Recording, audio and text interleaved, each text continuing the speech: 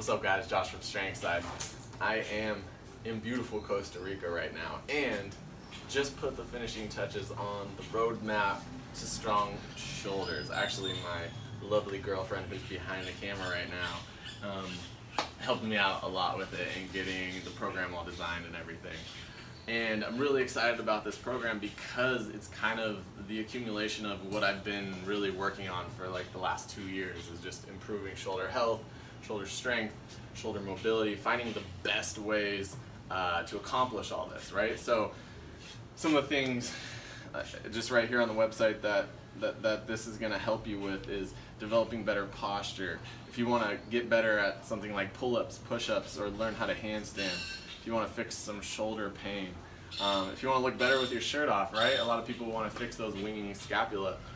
This is going to be the foundation of building all those things up, right? Because the same things that are going to help fix your shoulder pain are also going to help optimize it and allow you to gain a lot of strength there as well. So, I really suggest that you sign up for this program. It's not super intense, you know, it's, it's short, it's easy to use, um, and I hope you like it. I hope you get some good results for it. Alright guys, that's the video.